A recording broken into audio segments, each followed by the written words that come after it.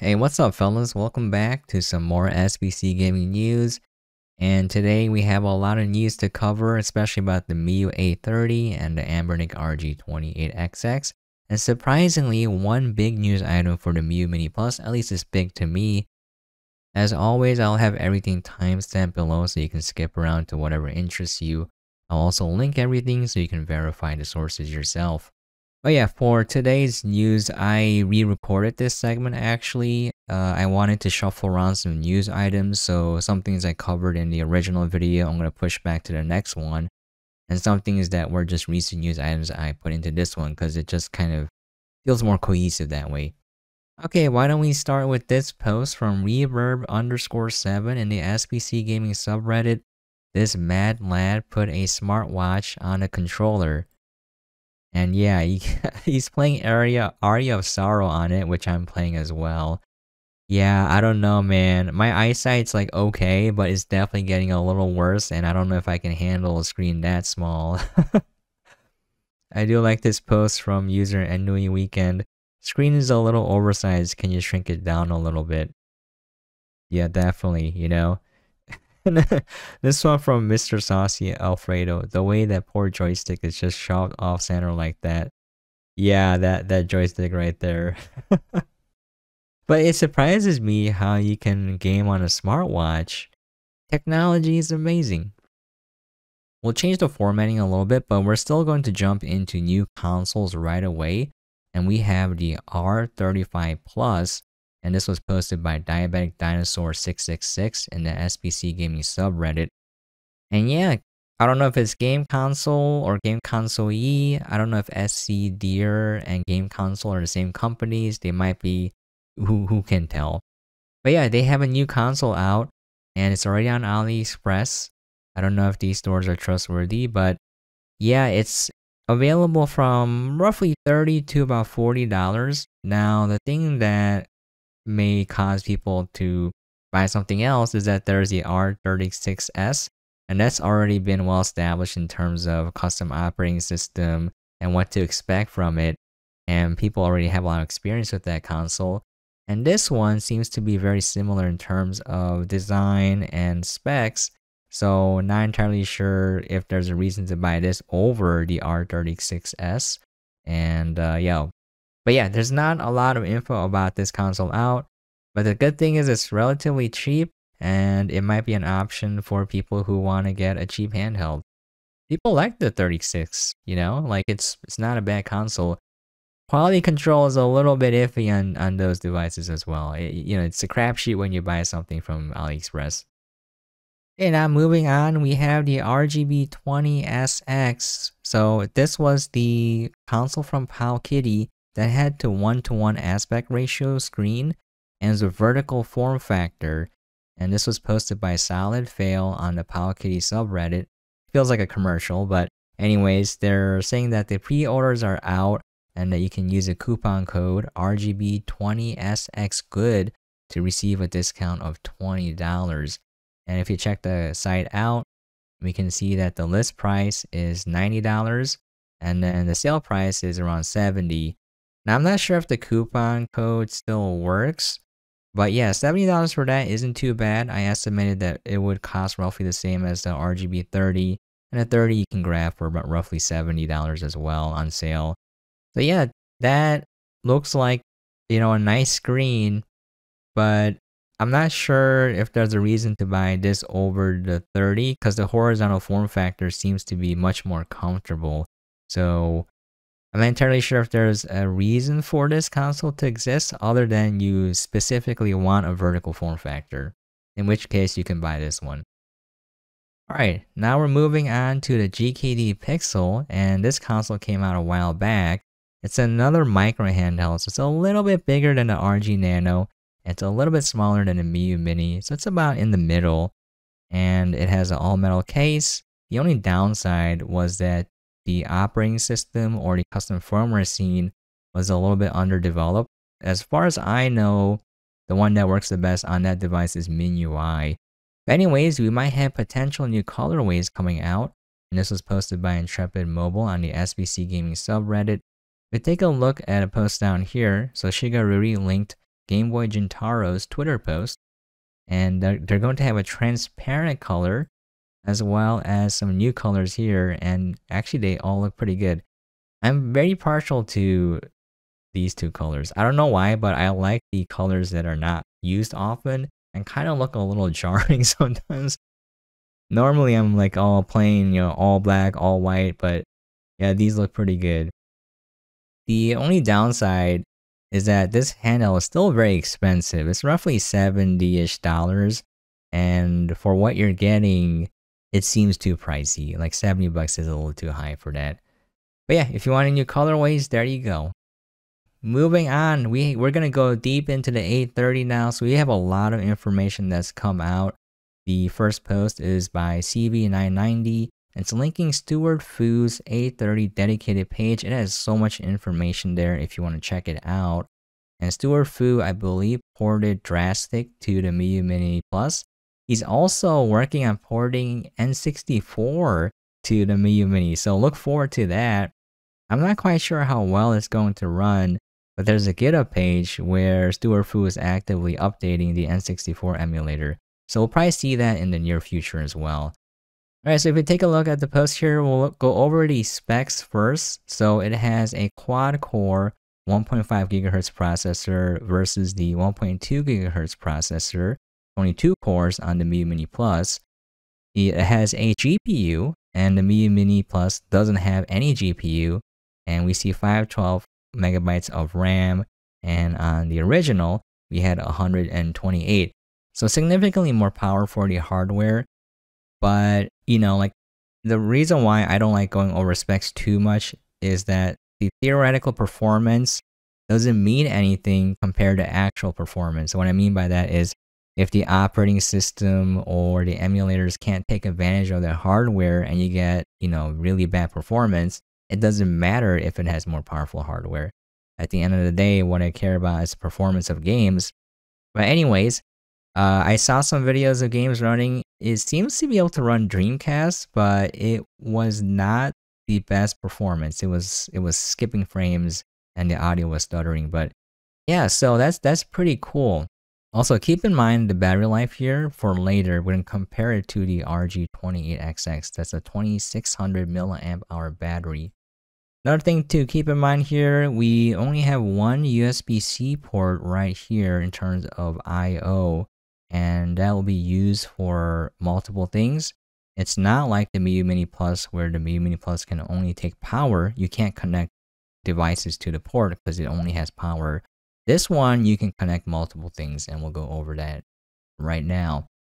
Okay, so this video is from YouTuber Tuber Viejuner I'm sorry if I mispronounced it, but all of these Spanish speaking retro handheld channels have released early copies of the A30, and so they have the early reviews out if you want to check them out. And one thing to note here is that there is a USB C to audio jack dongle. So we know just from that alone that the USB C port is capable of transferring data. And we can see that later here as well if you skip to 1047 you can see there's a USB storage mode. I'm not sure if that's referring to both the onboard storage and the SD card, or just the onboard storage or just the SD card, but that's still huge if it can transfer data back and forth from the device without having to take the micro SD card. Uh, that'd be super nice. But now that we know we have more functionality over the USB-C port, that's pretty cool. It can probably have more options in terms of, you know, custom apps to transfer data and such. All right. So surprisingly though, the A30 has been delayed again. So this was posted by Nathaniel in the Miyoo Mini subreddit and they contact customer support and they're like it's delayed. So if we refer back to the original post from was it Go Gamer Geek or whatever it was, uh, they were saying that the product would come out this week. So they're saying that the Pocket the Miyoo Mini Flip would come out earlier than the A30 and I was like that's there's no way bro. There's no way. And then the A30 was supposed to come out this week. So around the 14th to you know the 20th and it's not out yet so I don't know when it's coming out maybe the end of the month we'll see though moving on to the RG28XX. Man, I think Anbernic has a better product and I'm going to go into why later, but look at all the colorways here.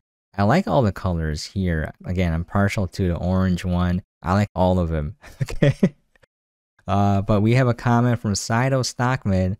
I'm not going to do this, but I want to get three of those new 28XXs and swap the shells on them. So one is all white, transparent black with purple buttons, and orange with black buttons man, that will look really good.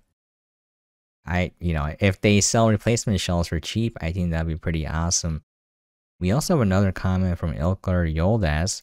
Can you try the different custom firmwares for the M17 and do a comparison? Sure thing, dude. Uh, I'll include a little bit of an update at the end of this video for MinUI. So Ruka, I didn't try yet, but that's no longer being developed actively. And then for Batocera, I feel like it's no longer being worked on because they're just working on the H version, and it.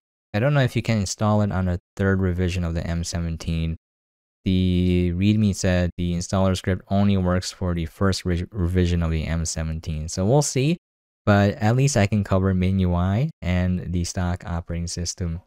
So this is one of the reasons why I remade the video. There's just too much news coming out. And this one is pretty cool. It's the official RG28XX unboxing. This was posted by CV990 in the SBC Gaming subreddit from Anbernic's official YouTube channel. We, we can take a look here. So a couple takeaways. Uh, they have a HDMI port on the top and they have an audio jack. So it's already better than the Miyoo A30 in my opinion in terms of functionality. You can just take a look here. So I think in terms of comfort and usability, it's better. The A30 just looks better. I think it looks more sharper and cleaner, but this just looks more usable. They also have a 3100 milliamp hour battery, meaning it will last longer than the A30. Roughly speaking, we don't know because because the operating system makes a big difference, but theoretically speaking, this should last longer. So if we take a look here, OTG and power here, we have the HDMI right here, and on the bottom, we're going to have an audio jack. It's, it's already better in my eyes. It depends on your preference, but for me, uh, this seems to be the better pick. Now we'll, we'll take a look after the pricing comes out. But yeah, right there. And another thing to consider is this is the same chipset as the H, the Plus, and the 2000 version of the RG35XX. And, you know, Batocera is being developed for it heavily. So once it comes out, theoretically speaking, it should be able to be used on this device right away. Now, that's not how things pan out. Usually, there's going to be bugs and hardware specific related issues they have to fix. But in terms of custom operating systems, uh, this one is going to be a little bit further ahead. Whereas for the A30 and the Miyoo Mini Flip, whenever it comes out, uh, we're not sure if, you know, Onion OS can be easily installed on a device because it's different hardware than the Miyoo Mini and the Miyoo Mini Plus. So the Onion team is probably going to have to do a lot more work to get it working. So in terms of usability, this is probably going to be ahead of the A30 on release. All right, we're going to move straight into updates, and I think this is a pretty big news item, at least to me, and that's another reason why I had to kind of reformat this video and re-record it. We have the Miyoo Mini Plus getting RTC. This was verified by a few users, and I'm going to go over how to check. This was posted by D MySci in the Miyoo Mini subreddit, and there's apparently another revision of the Miyoo Mini Plus, which has RTC. So if you watch my series, there's a YouTuber named Takia Gecko that this guy mentions where they did a mod to add RTC functionality because the CPU or the chipset has RTC, but the pin is not constantly powered. It's only powered when it's on. So then the solution was to cut the trace and then solder a wire to a trace that is always on, and then you have RTC. Now, I don't think that's doable for most people, myself included. It's a very small solder, it's micro soldering, and it's not the easiest thing to do. And cutting the trace, you might wreck something. So the difference though is if you check the back here, uh, you can see that my Miyoo Mini Plus is angled. That little silver thing right there. So if you look at the newer revisions, it's rectangular. If you have the newer one, chances are very high that you have RTC enabled. So the newer re revisions must have have a different PCB where the trace to the RTC pin is always on. And to enable it, you just type you just make one simple file and put it in the config folder. Let me take a look here. So yeah, you make a file called no dot no time restore and then put it in the config folder in the dot temp update folder on your SD card. And what that does is when Onion OS boots, it will not restore the time, which is the default behavior, and it will just rely on the RTC. So what you do is you make the file, put it on the micro SD card in the correct folder, and then you set the time and you can turn it off, wait a little bit, turn it on, and it should verify if you have RTC. So again, this only works for the newer revisions. So they bought it, uh, I guess sort of semi recently in January 13th. How to check? On the back right here. So check if you have a rectangular tab. If you have the angle one like mine, you don't have RTC on the chip. You have to mod it yourself by micro soldering and I don't want to do that. Cutting the trace, that's too much of a bother. But yeah, that's pretty neat. So yeah, check if you have this. Now let's say you want RTC. The best way to kind of emulate it on these older devices is to have Wi-Fi and then have the Wi-Fi time sync. And that should work in terms of syncing the clock and then acting like it has RTC. So that's the best way to do it for these older ones. Newer ones, you know, check if you bought one recently, check if you have that rectangular angle in the back and then you can do that simple file and have RTC in your handheld. Okay, moving on, we have another Miyoo Mini slash Plus related news item. So Koriki 1.4.1 was released, and the reason why this is big news is that it has the updated RetroArch core. It is 1.18.0, and the biggest thing for me of note is that it has the new GPSP core which has the Game Boy Advance Wi-Fi link adapter. So that will let you play Pokemon and transfer Pokemon for Game Boy Advance games. For Onion OS, currently right now, it's only for the Game Boy Color games. And if you wanted wireless, you know, Pokemon transferring, whatever, you're gonna have to try Koriki for now. You can kind of compile the updated RetroArch core yourself and then put it on your handheld if you want. I haven't done that, so I can't walk you through that, but it shouldn't be too hard. But yeah. So the reason why we have this is thanks to developer David Guillen Fandos. Again, I hope I pronounced the name correctly. I mentioned this a while back, but this guy is, uh, I think, is a mad lad. He wrote the Game Boy Advance wireless adapter for GPSP and that should be coming out. And we have video confirmation.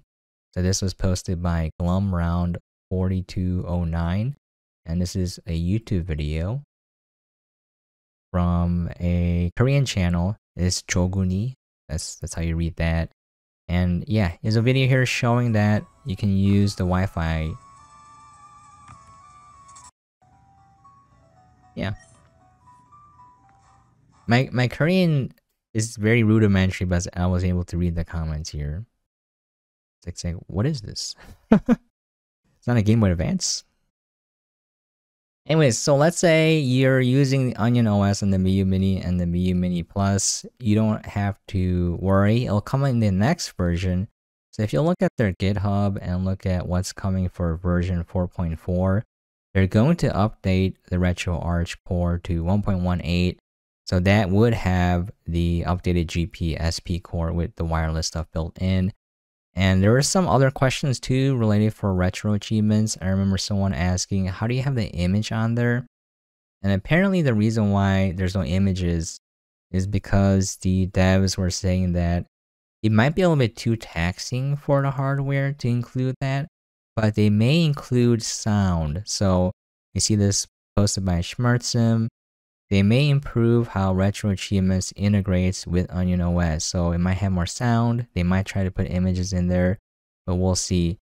Yeah, cloud saves as well. So if you want to see the features that are coming in the next version of Onion OS, they're working on a lot. There's also one that was interesting to me. This was something I wanted to code myself, but I was like, I can't do it.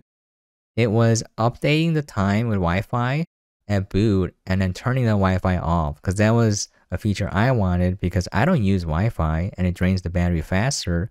But just turning it on and boot would be nice to sync the time for the older ones that don't have RTC now. So yeah, they're adding that as well. So looking forward to version 4.4. I think it has a lot of features that people want because I actually received comments about these features um some of my videos. You know, the wireless transfer for Game Boy Advance games, especially for Pokemon, uh, retro achievements, and then just my personal uh, want of having a way to sync the time at boot and then turn the Wi-Fi off automatically. All right, moving on to our next item. This is kind of a mix between buyer advice and just a rant because it, it's something that bothers me when I see it on the subreddits. But this was posted by Torrent in the Miyoo Mini subreddit. It's a post about fixing the USB-C charging on the Miyoo Mini Plus. So if you have one, you know that sometimes USB-C charging works, sometimes it doesn't. And just to be safe, you use a USB-A to USB-C cable on one of the old power bricks or on your laptop or computer. And people are wondering why doesn't it work reliably with the newer USB-C bricks, you know, with power delivery, fast charging and all that. And here's the reason why. They cheaped out on designing the USB-C port. So it ha has a USB-C port, but it's not built to spec. And the funny thing is they have the CC1 and the CC2 pins shorted and sharing a common resistor and the counter fix is to cut the trace and then solder a 5k ohm resistor on there. So we have some users who create this mod and this will let you use a USB-C charging cable on it. So this one looks a little bit iffy, looks a little bit unsafe, but it works, you know, if it works, it works. So the reason why I brought this post up is because the common advice for these devices, and not just the Miyoo Minis, but for other ones, is that using a modern power brick with power delivery and quick charging and USB-C to USB-C, it might not work and it might actually damage the device. And every so often I see a lot of people saying that for those bricks that it's impossible to to damage the device because it has a handshake protocol. And if it fails the handshake protocol, it will revert to a lower wattage or lower amperage, you know? And the thing is, uh, that's if it were built to spec, but these devices are not.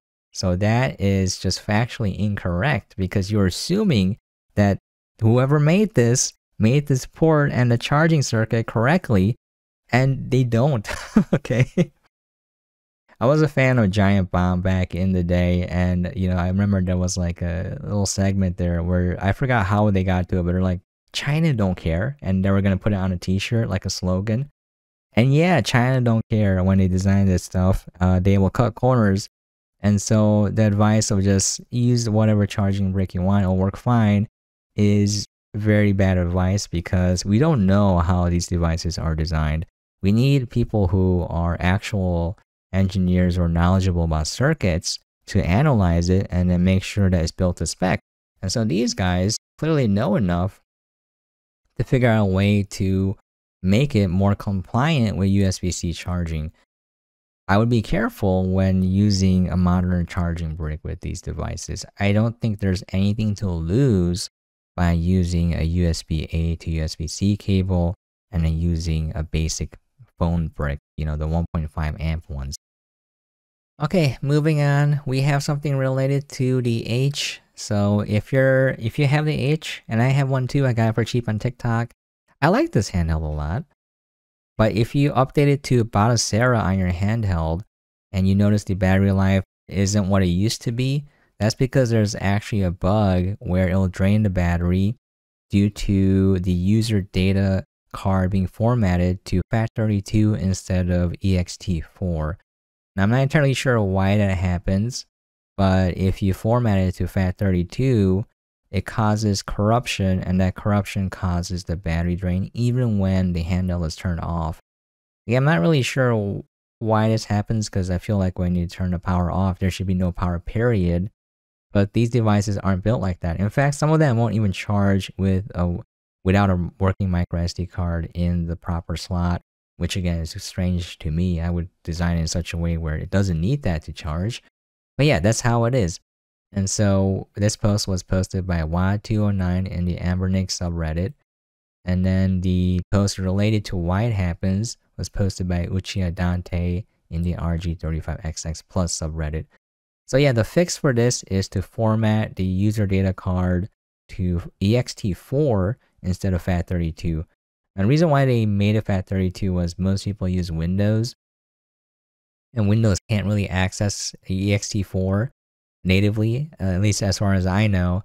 And so changing it to FAT32 allows you to access it on most Windows computers, but that causes an issue. So yeah, I mean, you're going to have to learn how to use Linux or Linux utilities. Not the hardest thing, but yeah.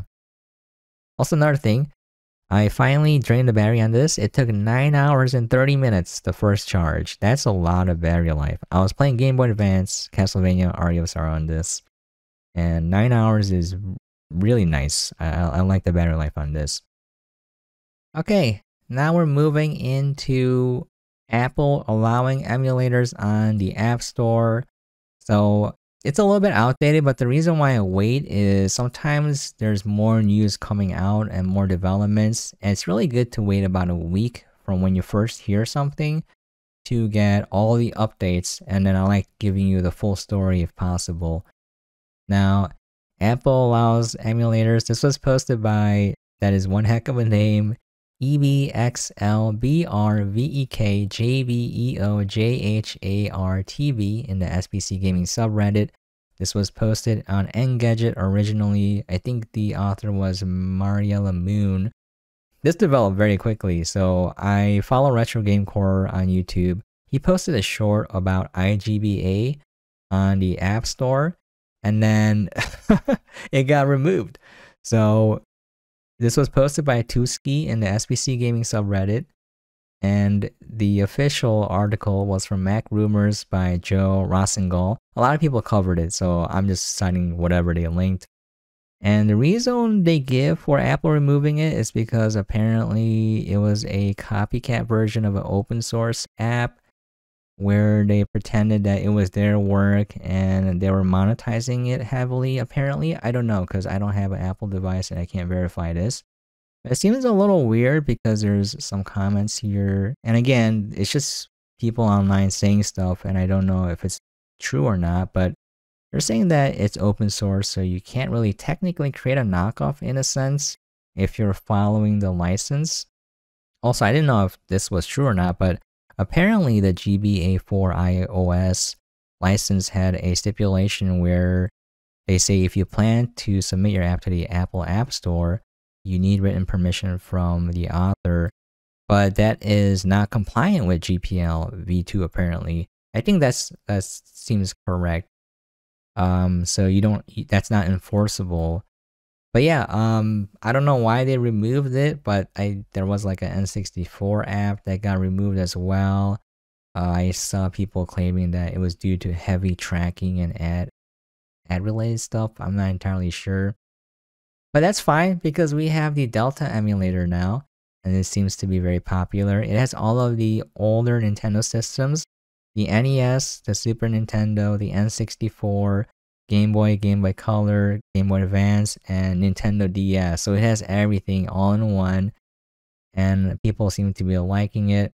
This was posted by Popular Highlight 16 in the SBC Gaming subreddit.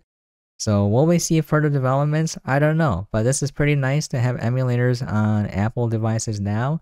So if you have an iPhone or a tablet and it's an old one and you don't really use it anymore, now it can be a retro gaming device. And I think it's really nice to turn old devices into gaming devices because it gives it new life. You can play your old games that you like. You can give it to a kid and don't, you know, you don't have to worry too much about it being broken or anything because usually those phones are a little bit more durable than, you know, like a Miyoo Mini where if you drop it, it just breaks the screen. Uh, but yeah. Okay, that's gonna be it. Uh, before I end, I'm gonna cover uh, the M17 custom firmware just a little bit. and then we'll call it quits. Let me know if you are okay with this format. It's not really that much different, but I didn't have any user creations. I'm going to include more of that in the next video. I kind of like grouping related news items together. So this was more related to the A30 and the Anbernic handhelds. And next week, next week's news items are going to be focused more on the handheld PCs. I have a lot of news related to that. I like kind of grouping it together to form like kind of a loose narrative. But yeah, to recap, I think the Anbernic RG28XX is going to end up as the better buy compared to the A30. In my opinion, I don't I don't have the handhelds, but just by looking at it, the 28 has the audio port, it has HDMI out. You know, it just looks more comfortable to hold. There's no joystick. The audio grill seems to be better designed in that slanted downwards so your thumb can't completely muffle it. It's going to be very hard to do that. Unless the slant is a little bit lower uh, or not as significant as I thought. It just looks a little bit more comfortable to hold too because it's more rounded and bulky. Whereas the A30 just looks better, but like it looks a little bit more uncomfortable. I'm going to briefly update you guys on using MinUI on the M17. I haven't downloaded the DS emulator and the PSP emulator quite yet, but it is a lot better to use than the stock OS in terms of how much features you have access to. The immediate noticeable difference is when you press the volume minus or plus keys, you go, you go into the menu and you can just simply save your states here. And for the stock OS, you kind of only have one save slot, whereas here you have multiple.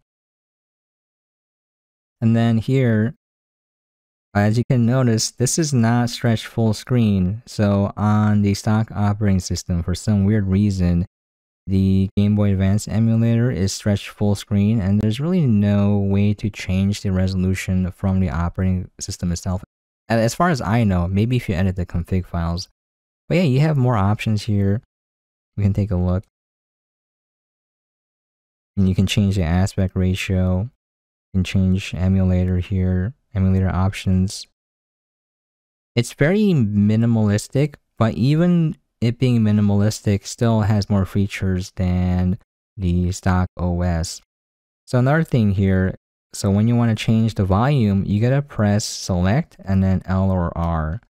That's how you change the volume. And if you want to change the brightness, you press start and then press L or R.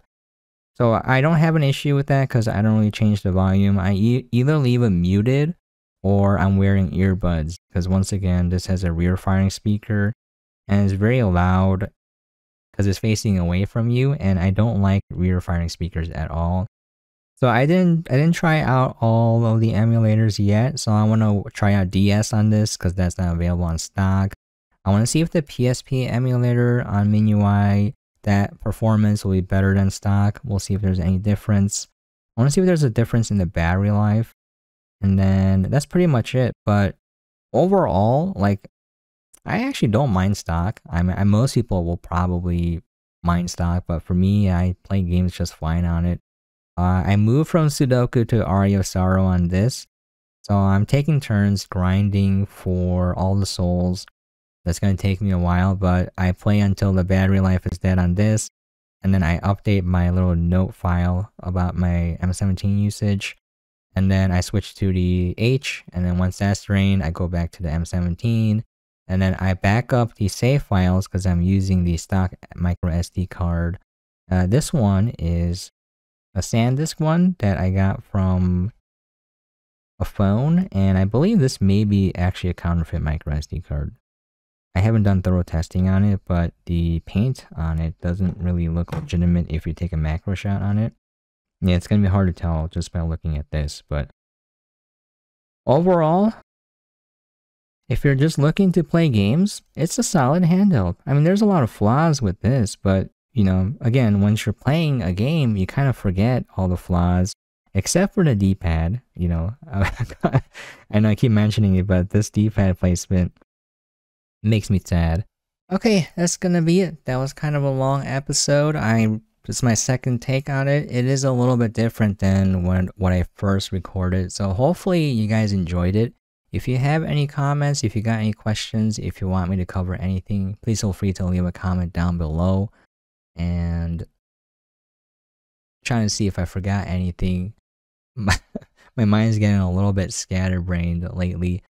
I almost forgot. Thank you so much for dropping by and watching. I really do appreciate it. I genuinely appreciate it because I know there's people making way better content out there and you chose to give me some of your time. So I appreciate that a lot. Okay, before I keep rambling, as always, hope you guys are staying safe and seeing out there and catch you guys next time.